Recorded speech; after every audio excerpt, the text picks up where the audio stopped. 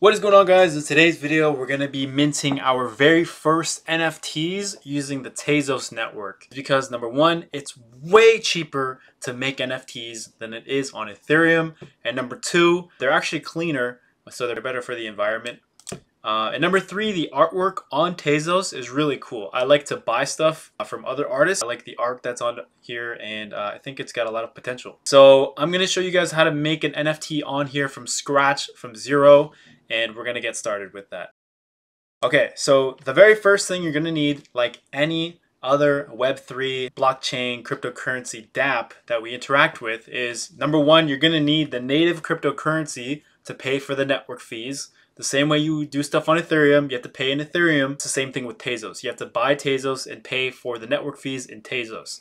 Now the good thing is, like I said, it's super cheap. So I made my first NFT for about a dollar fifty, I think, after all the fees, maybe two dollars max. So you don't even really need a full coin. You could, you know, get away with like half a coin. Um, if you don't know where to get it, go over to CoinGecko, go over here, see all trading pairs, and boom, these are all of the exchanges that the coin is available on along with all the pairings. I like to use Binance. Um, if that's not available in your country, then you can also use Kraken um, and then Coinbase as well. Now, right after that, you're going to need a Tezos wallet. I like to use Temple Wallet. It's templewallet.com. It's going to give you your private keys, so make sure you write those down. Uh, keep them safe. Never show them to anyone. You know the drill. Um, so after you've got some Tezos coin, if you got your Tezos wallet, you're halfway done. So there are two main NFT marketplaces on Tezos. Um, the first one I've made a video about before. It's called Hic et Nunc or Hen. Uh, people call it Hen. Um, this is where you would, oh, this is pretty cool. This is where you would uh, mint your first NFT. So this is where you set up the price. This is where you set up the amount. So, oh my gosh, this art is so cool. I just want to keep buying stuff. Okay, I'm going to stay focused. Once you've installed the Temple wallet, it's going to be up here. Make sure you send some Tezos coin over to your wallet. Um, so once you've got all that out the way, up here on the right tab, you're going to see the sync button and you're going to sync it up with your Temple wallet that you just installed. So just that the wallet and the website can communicate with each other. Now over here on the tab, you're to go over here to where it says object and you're to upload your object, upload the file. You can see here it supports uh, GIF files, JPEGs, MP4s. Uh, I'm going to upload a video here that I made. This is the first like 3D file that I made. So I'm just going to give it a name, 3D Ethereum logo, uh, give it a description, a rotating 3D and then the royalties, any number from 10 through 25, I believe. So I'm going to leave it at 10. And then just hit preview. And then this is what your NFT file is going to look like. And then you can just hit mint object down here. So the first fee that we're getting here is going to cost us 1 cent in gas fees and then 53 cents in storage fees. So we're going to hit confirm. Uh, so now we can go back to the tabs, go to manage assets, and over here under creations, this is going to show us the creations we just made. So this is one I made earlier as well. And then the Ethereum one that I just made, is it should be uploading pretty soon. Uh, there it is. So I'm going to click the NFT that I just made. And then as you can see, one edition and it's not for sale. So we've got to change that. Obviously, we want to put it up for sale so people can buy it.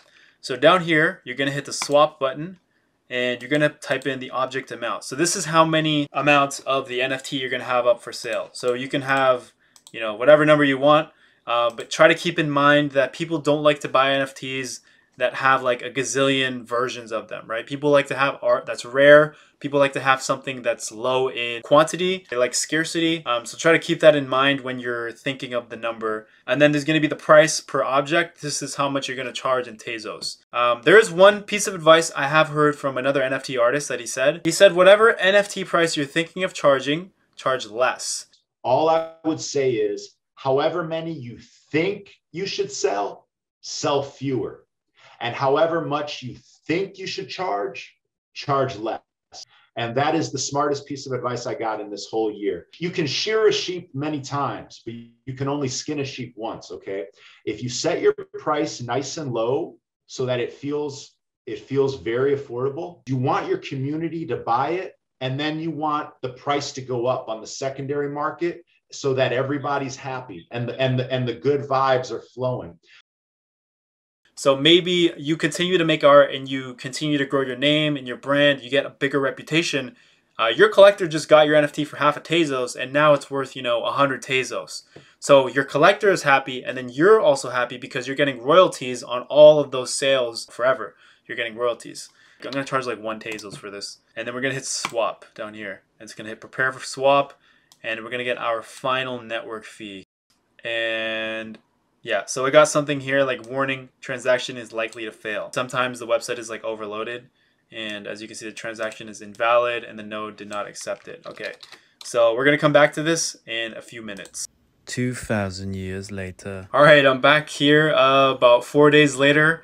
Um, I've uploaded a completely different 3D model. This is just like a new one that I was making. I played around with it. Um, so anyways, I'm going to try to mint this now. So the object amount is going to be how many of the NFTs I'm going to make available. So I'm going to make it 12. And then the price per object, I'll make it like 2.2 Tezos. So I'm going to hit swap and then it's going to confirm a transaction in my Temple wallet. And as you can see, this one will go through. We're going to pay 80 cents in fees and that should be available for sale right after that transaction is cleared. Okay, so we finally minted an NFT on Tezos. Um, it was a process, but we finally got here. So basically, this is the uh, NFT that I just made. It's a 3D model. You can zoom in, you can zoom out. Uh, and if you open this on your browser, it's actually visible in augmented reality as well, which is super cool. Uh, augmented reality, if you don't know, that's basically like the same technology that's used in Pokemon Go uh, and Snapchat filters. It's when a different reality is augmented through your camera. It's an augmented reality. It's an artificial reality. Um, so this 3D model is visible in augmented reality. If you open this uh, link with your phone, I'll have a link to this in the uh, YouTube description. You'll be able to view this in AR and like take photos with it and interact with it. It's really cool. There's uh, one thing to note here from making this NFT that I didn't realize until now, and that is that you cannot edit the description, you cannot edit the title. Sorry about the police sirens. This was just like a super random um, description and title. It just like flowed from my mind. It was like a stream of consciousness. But now I can't change it. I don't have the option to change it. So now that the NFT minting process has been done using Hen, um, I can now view the NFT available for sale on different Tezos marketplaces. So Hen is where you mint it and you uh, you turn it into an actual NFT that people can buy. And then on these other websites like OBJKT, um, Akaswap, um, but on all these other Tezos NFT marketplaces, you can't actually make the NFT there, um, but you can view and you can buy other stuff. So now that I've made it on Hen, um, my NFT will be visible under my Creations tab. And as you can see, it's now uh, available for sale. So to wrap up, uh, I showed you guys how to create the NFT. I showed you guys how to mint it to turn it into an actual buyable NFT. And then now it's also available on all the other uh, Tezos marketplaces. It'll be available for sale on there, such as OBJKT, um, uh, Hen, of course, and any other Tezos marketplaces that come out in the future. Uh, so if you found this video helpful, give it a thumbs up. Uh, send it to someone who wants to start minting on the Tezos blockchain. The reason I got attracted to Tezos was because nobody else is on it right now. Um, Tezos, as far as I've seen, has a very, very strong community, especially on Twitter. There's a lot of artists that are making stuff um, on Hen and on Tezos uh, just from the Twitter acti activity that I've seen. So there's a lot of money coming in and out of the Tezos blockchain. Uh, but yeah, if you found this video helpful, give it a thumbs up. Follow me on Twitter. Tweet about uh, projects that I'm getting into that I don't really make videos about. Let me know in the comments if you have any questions. Um, thank you guys for watching. Hopefully you learned from this. Peace.